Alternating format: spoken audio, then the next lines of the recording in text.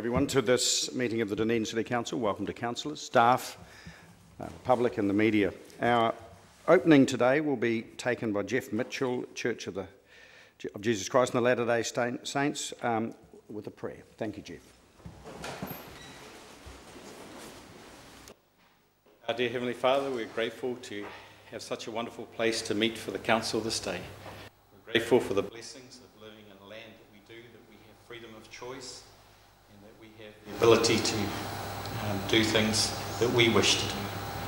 We are thankful for the councillors and the mayor and all those who assist, for them taking this responsibility to help run our city to make it go well. We pray a blessing on each of them, that their families and their health may be well, and that they may be able to make correct decisions this day and going forward that will help the citizens of this great city of Dunedin, that we will be blessed to have a wonderful city that those around us will want to come to and be part of.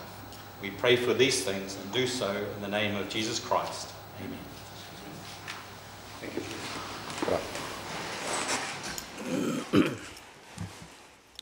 Right, there are no um, speakers at public forum today. Um, on to apologies. I'll move from the chair that we accept an apology from Councillor David Benson Pope, seconded Councillor Staynes. All those in favour, please say aye. aye. Against? Carried. Confirmation of the agenda. I move from the chair that the council confirms the public part of the agenda with the following alterations. In regard to Standing Order 2.1, option C be adopted in relation to moving and seconding and speaking to amendments, and that item 14, the Dunedin Provisional Local Alcohol Policy, be withdrawn as an, as an item. Um, seconded, Councillor Staynes. All those in favour, please say aye. Against? Carried. And I take it that you are all in receipt of the explanation for the, for the withdrawal of that item. Uh, declarations of interest, item 5. Um, I'll move that the council notes uh, amends. Are there any amendments to the um, declarations of interest? So there are none. So I'll move that we note the elected members' interest register and confirm the proposed management plan for elected members, and further that we note the executive leadership team's interest register and confirmed confirm the proposed management plan for, for the executive leadership team's interest. Second, Councillor Staynes. No discussion. I'll put it. All those in favour, please say aye. aye. Against? Carried. Item 6, confirmation of minutes. I'll move that the Council confirms the public part of the minutes of the ordinary Council meeting held on the 20th of February 2018 as a correct record. Seconded, Councillor Staynes. Any discussion on that? Councillor Vandervis. Um, the uh, items for consideration by the Chair on the 12th of February. I'm looking at page 22 of our open attachments. Sorry, am I one ahead, am I?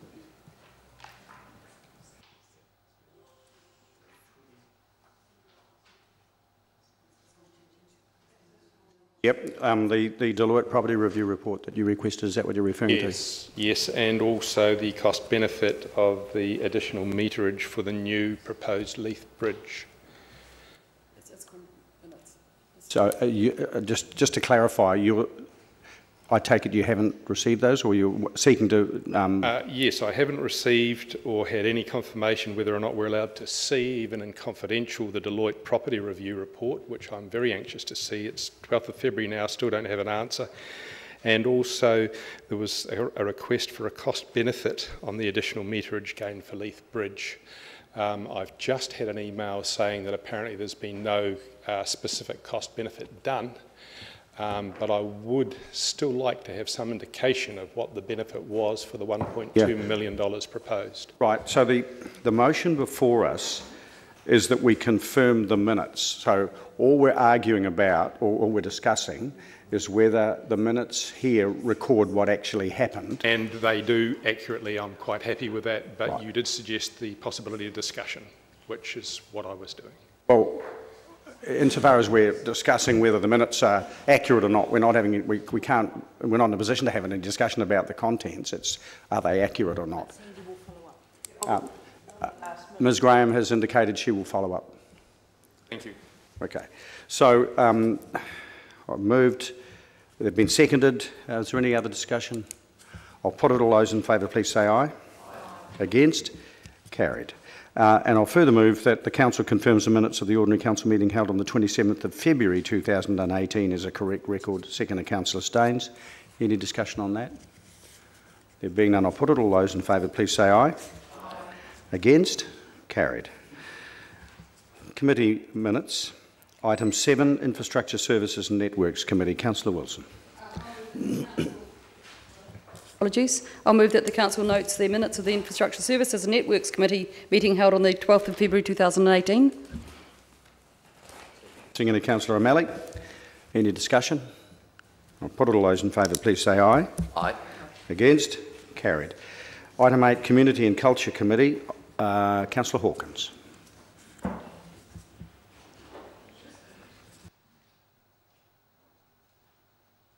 Uh, thank you, Your Worship. Um, I will move uh, that the minutes of the Community and Culture Committee held on the 13th of February 2018 be accepted as a true and correct record. Thank you. Second to Councillor Laufiso. Any discussion? I'll put it all those in favour, please say aye. Aye. Against? Carried. Item 9, Planning and Environment Committee. Councillor, I take it either Newell or Stedman. Thank you. Thank you, Your Worship. Uh, I move that the uh, minutes of the Planning Environment meeting are a true and correct record and be accepted as such. Okay. Seconded, Councillor Lord. Any discussion? I'll put it all those in favour, please say aye. Aye. Against? Carried. Hearings Committee. Is that, uh, this is on 10, is that Councillor Hawkins again? I think you may have chaired this.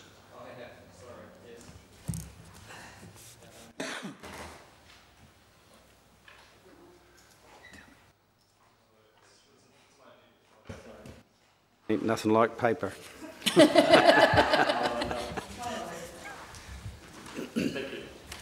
Thank you, Worship. I'll move that the uh, that Council note the Part A items of the minutes of the Gambling and TAB Venues Policy Hearings Committee meeting held 20th of February 2018. Seconded, Councillor Laufiso. All those in favour, uh, any discussion? All those in favour, please say aye. Aye. Against? Carried. Minutes of community boards. Councillor Whiley, your perennial collective movement. Uh, well, perhaps I should rephrase that. Yes, just say I inherited it from Andrew Noone.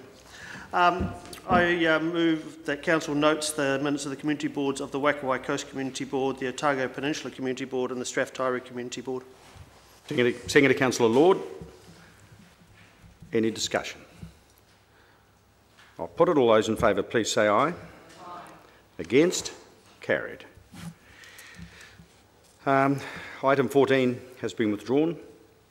Uh, item 15, gambling and TAB venue policy. Um, I understand we. Ah. Mr. Pickford? Oh, right, okay. Um, so before this is um, moved, I'll give everyone the opportunity to ask any questions um, that they wish to ask. And um, I assume, Councillor Hawkins, that you'll be available to answer questions too, just in if there's something that isn't, um, if the staff are, if it's not appropriate for staff to answer. So, uh, can I invite questions, councillors? This may be quite short. Councillor Whiley. Um, was there any um, presentation or submission made by organisations such as um, Bendigo, Lion Trust, or anyone that uh, deals with the proceeds out of the gambling machines? Uh, through the chair, I believe there was, but I think um, maybe Aaron may be at a better position to answer that. Sorry. As does the paper, um, but yeah, the, the gaming trusts presented, um, a number of them presented to the hearings, yep, in writing and in person. I, may, I may be wrong, but I was under the impression that, yes, the full, the, the minutes, albeit unconfirmed, are in the open attachments, item 10. Yeah. So, any further questions? Councillor Wilson. Uh, just understanding, um, in light of the matter that's been taken off the agenda, um, the LAP, what is the right for appeal as compared to the local alcohol policy um, for, uh, are you aware of it? Is, is, do they have any similar appeal rights? I'm unaware of any appeal rights. Thank you. No further questions? Your move, Councillor Staynes. Um, the recommendation on, uh, as a seconder, Councillor Hawkins. Do you wish to speak to it, Councillor Staynes? Speakers, Councillor Lord. Oh, look, I just wanted to say that um, I thought uh, page 66.12, the Hearings Committee was disappointed that the industry submitters minimised the harm, and I think that's something that um, is prone to happen in these situations. Obviously, people that are making a coin out of it are pretty happy to suggest that it's doing no harm, and I was quite just, I thought that was a poignant note in the report to me. I just thought, yes, well, we're uh, making this decision, and it's, and for me, I can support this uh, quite heartily, and um, I just think it's a good, good position to take. Commend those, that, or Aaron or whoever, submitters. Good to speak, Councillor Vandervis. Um, uh, it- it's, it's really a question, and that is on page 65. It says that those opposed to the proposed policy made the following points. Are we to accept that those points are actually factual, or is this just the opinion of, of some people? Like, for instance, it says over 80% of the adult population gambles for entertainment. Um, I'm just wondering if we are to accept those as actually confirmed or simply uh, those that opposed the proposed policy made these points, whether anyone had actually checked up on them. Um, well, my, I stand to be corrected, but I believe that the appropriate body to weigh up the veracity of those claims was the hearings panel. And it's reported here that they were told that, but it was for them, uh, and that's the basis for their recommendation. So um, I, I, people are perfectly liberty to believe them or not, but I would suggest that it, the most appropriate body in the, in the process was the hearings panel, and that whether we believe it or not is, well, it might influence the way you vote, but. Okay, so just to clarify, all those following points made in 9A, we are not accepting those by voting for this recommendation. Um, no, we're, we're, we're ex- by the recommendation, we're just adopting the recommend. We would be adopting the recommendation of the hearing panel. Right. I think the report does make it clear that these are points that were raised in submissions. So people can say what they would like to in submissions. That was the submissions, that's all this paper is reporting to you, that they were points made in submissions. And But, but those facts haven't been verified at all. Thank you. No, no, that's fine. No, and, and I um, would recall the, uh, um, you know, the old adage, lies, damn lies and statistics.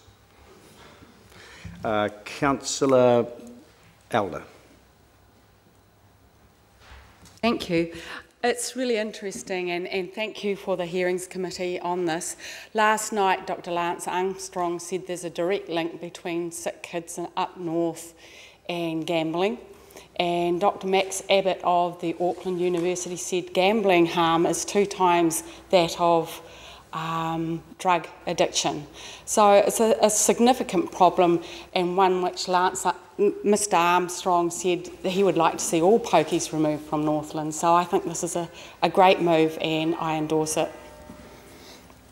Councillor Garey.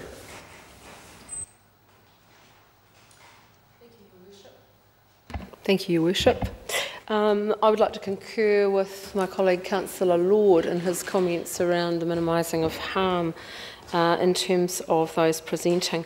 But I also note um, in the findings on page 66, item 14, um, because I think this is an important point for our community, um, and this is this is a difficult tension for our community. There was no evidence presented that would indicate the risk of a large number of gambling venues closing in the next three years, which is the life of this policy. Therefore, there should not be an impact on the amount of money available for grants to community projects. I too would like to add my thanks to the hearings uh, panel for the thorough job they did in the engagement with the community, and I'll be supporting the motion. Mr Wilson.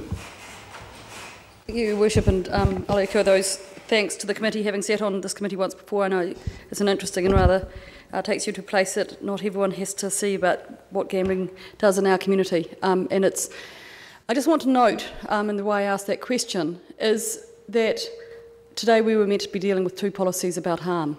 And um, I just think it's congratulations, I suppose, is the only way to put it, to the people who wrote this legislation and gave and empowered this council to make decisions on gambling in our communities, and how um, it's ironic that we can't deal with one today, which was equally to do with harm to our community and, and communities having control over that. And I think it's um, very sad legislation that those two um, matters of harm haven't been dealt with in a con um, consistent manner and allowed the communities to have their say on it. So, um, and here we have Kevin who deals with both sides of those um, tortuous, um, addictive things. But um, yeah, uh, uh, and I suppose the only way I can do is say um, what good legislation this is that empowers the council to do it.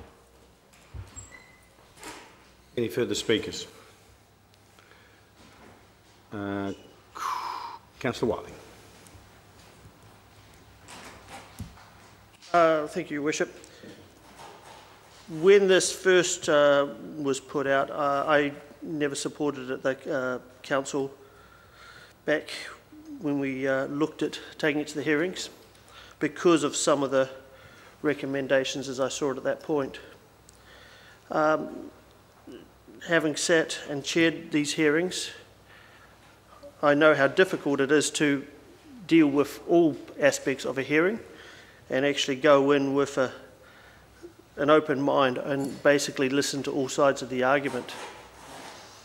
The one thing that I would say is that I think actually the hearings panel has done a good job in actually looking at all aspects of this uh, issue.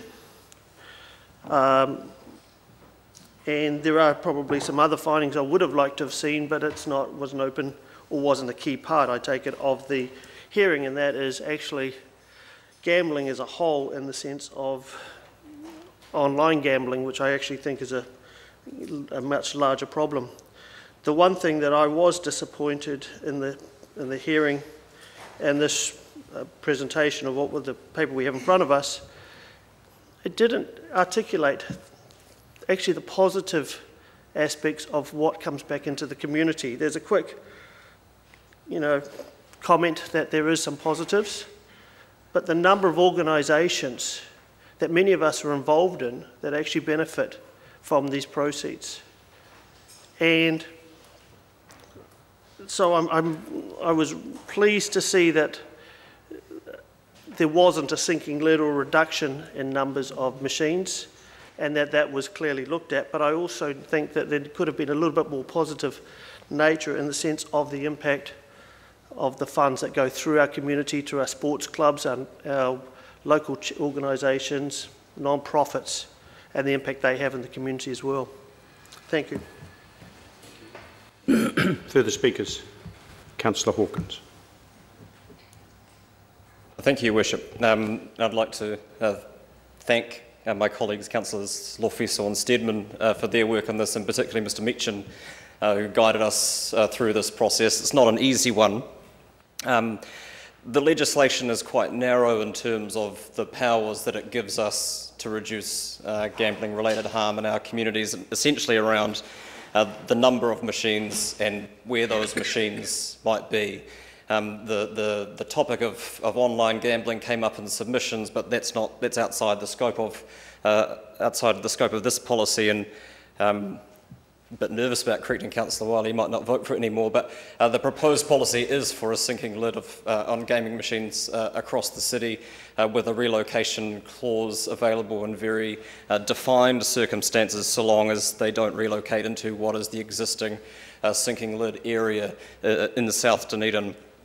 Um, the submissions that, we, that the committee heard were essentially um, balanced between people who think we're doing about enough within the scope of the powers that we have uh, to address uh, gambling related harm in our community and those who think that we could do a bit more uh, to, to deal with uh, the negative effects. Um, and, and I'm not one uh, to go in for silent majority arguments, but I do want to acknowledge uh, as part of this process um, the difficulty um, that one side of that argument has in fronting up to a public process and sharing what are, are quite personal and quite uh, embarrassing stories of uh, the problems associated with gambling related harm. And I want to especially thank those uh, who had the bravery to do that.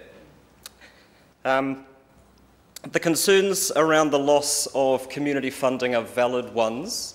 Um, and, and, as has been pointed out in the paper, it was the view of the committee that over the life of this policy, which needs to be reviewed every three years, there was no evidence presented that um, there would be a rush of venue closures and that this policy would result directly in a lack of funding uh, to community projects. But I, I, made that point during the hearings and I accept that um, it's slightly disingenuous.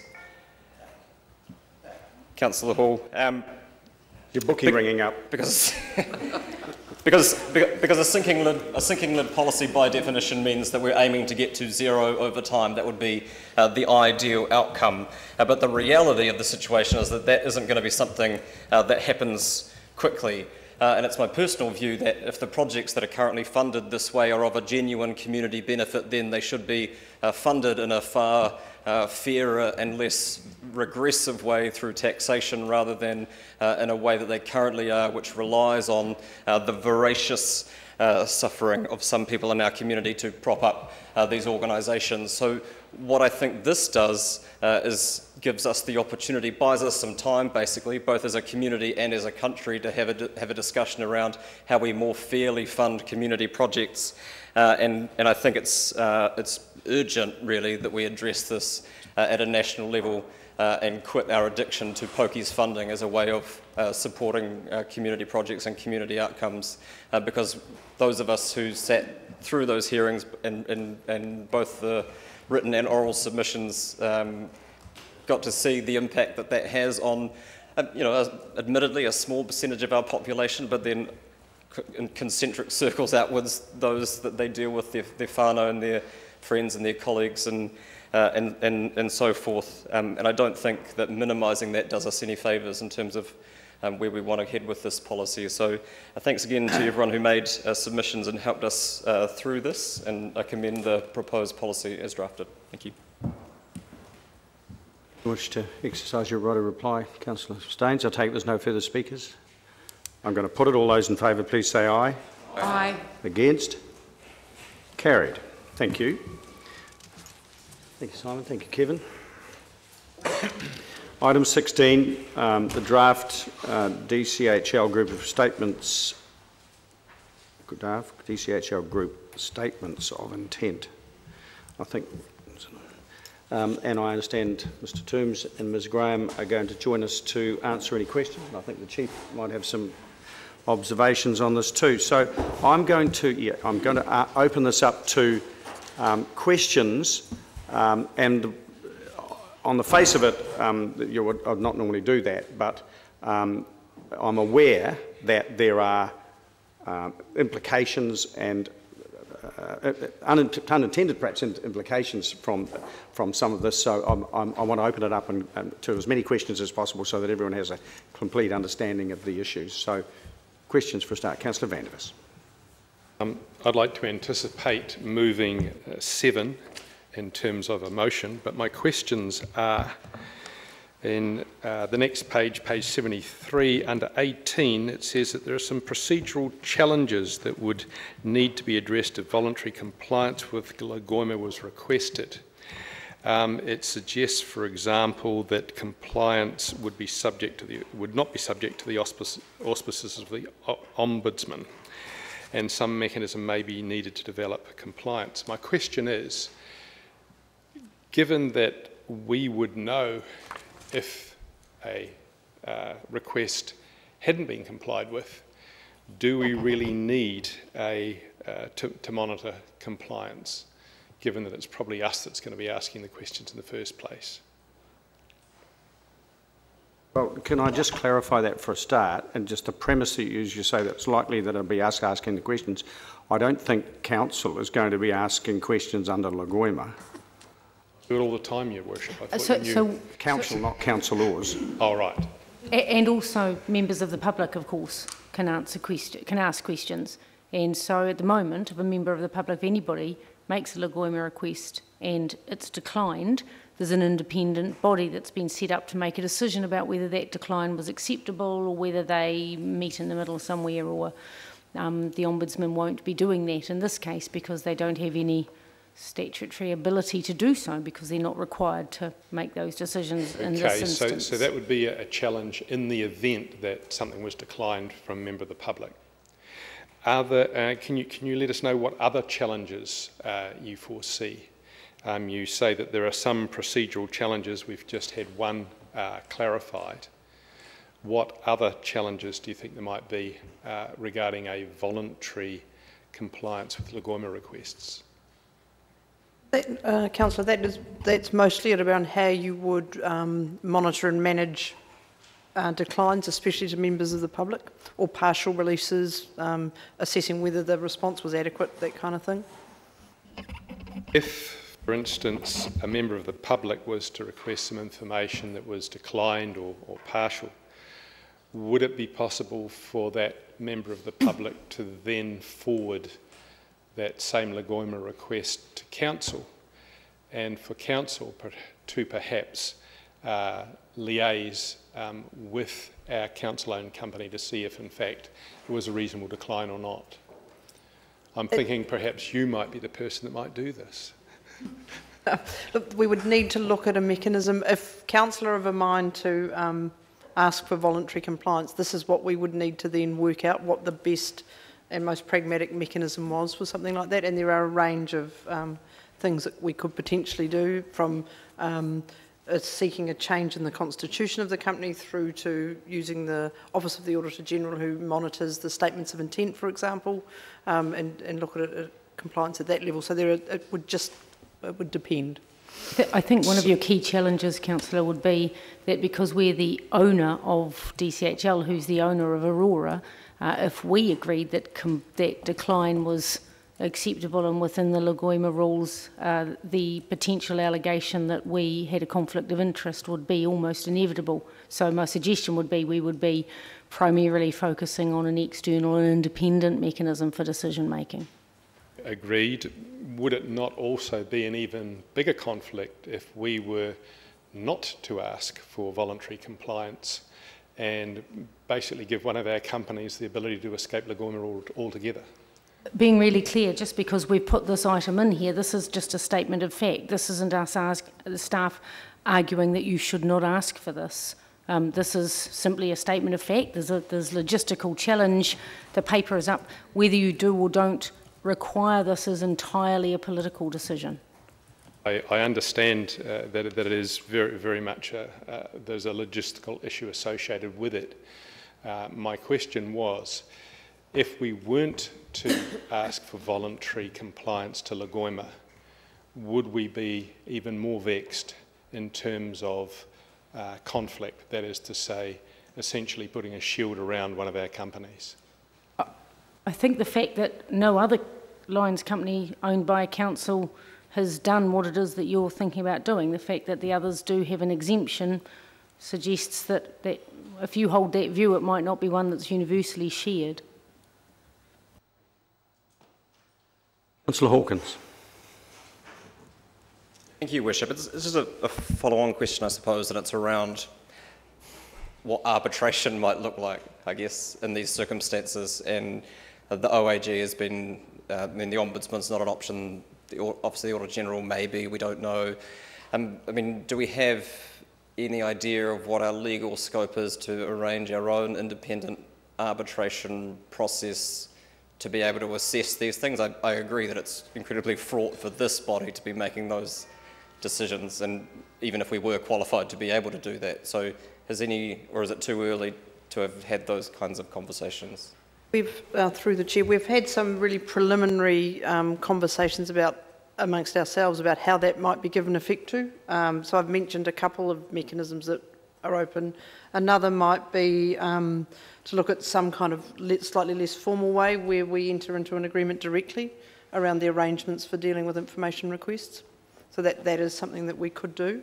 Um, but again, we, we haven't spent any more time nutting out what it might be.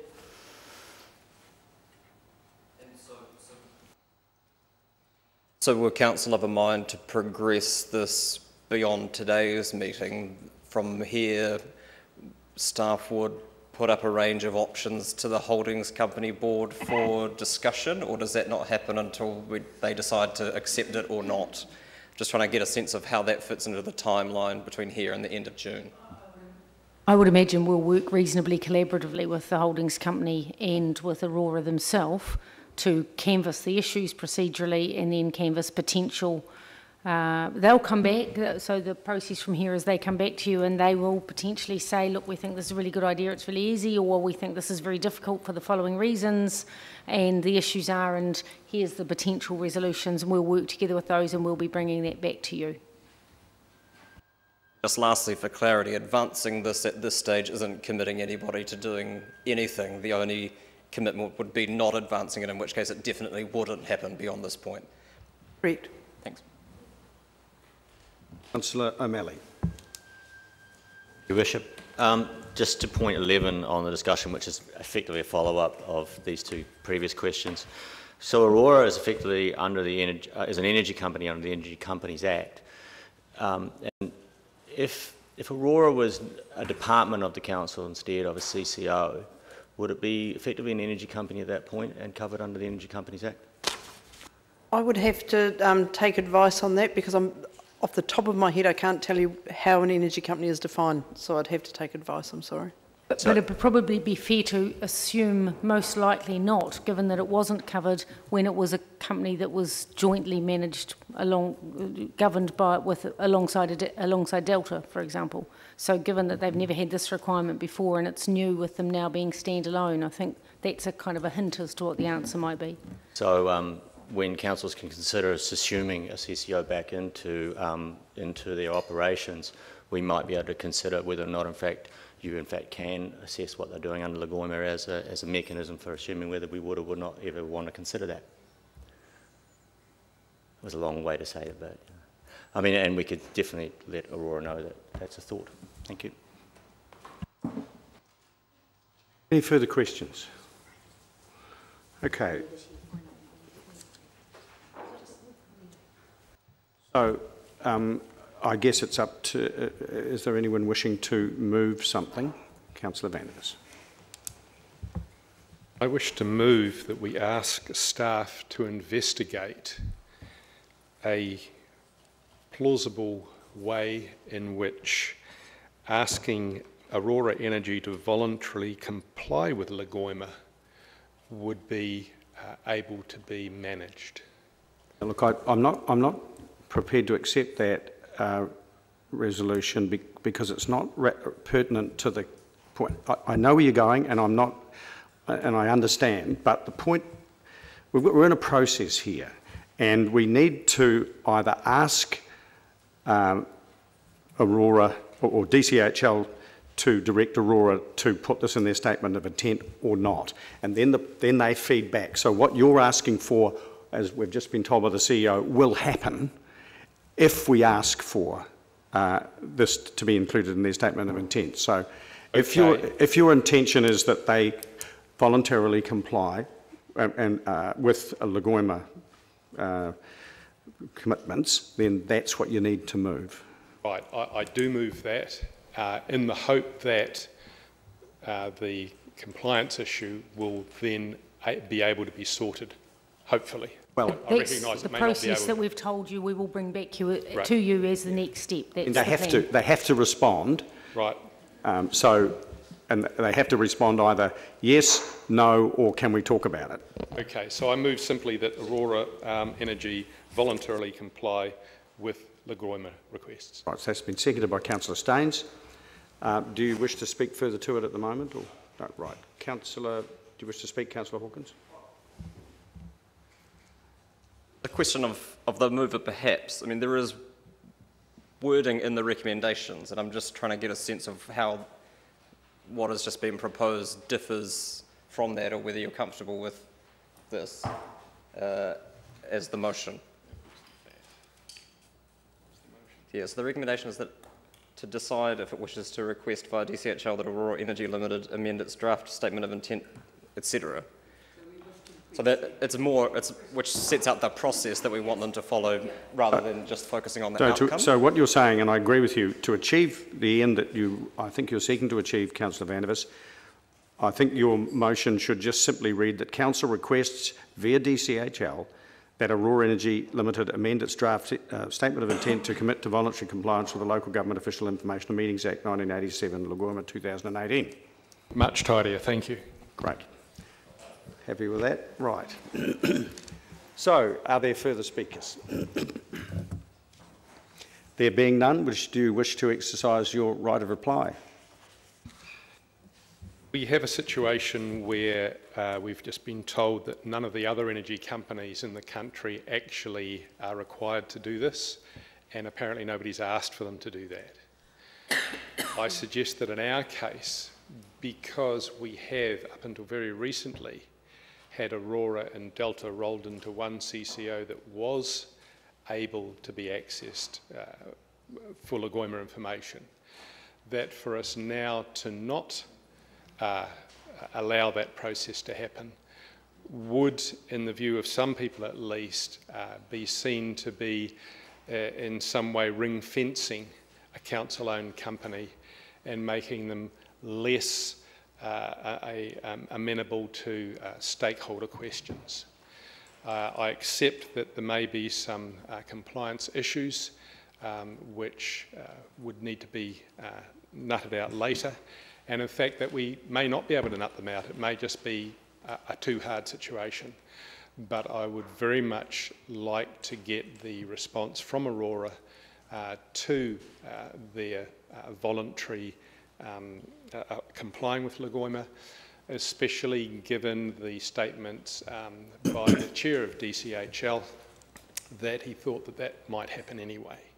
So I, I, I believe that this um, motion simply gives it a chance rather than makes it happen.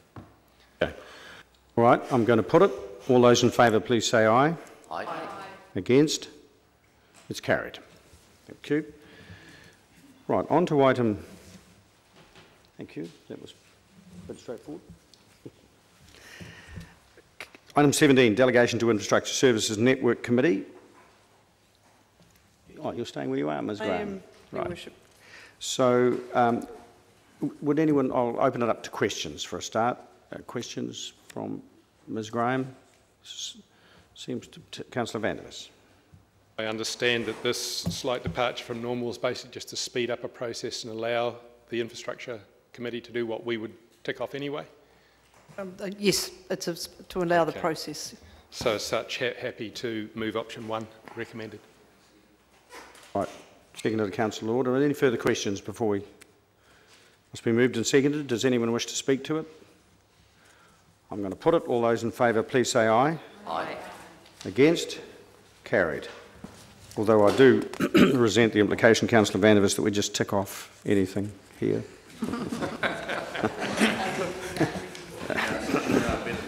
You may resemble that, sir. right. Um, I will move from the chair um, that the meeting move into confidential for the reasons outlined in the agenda um, pursuant to the provisions of the Local Government Information and Meetings Act. Second to Councillor Staynes. All those in favour, please say aye. Aye. Against?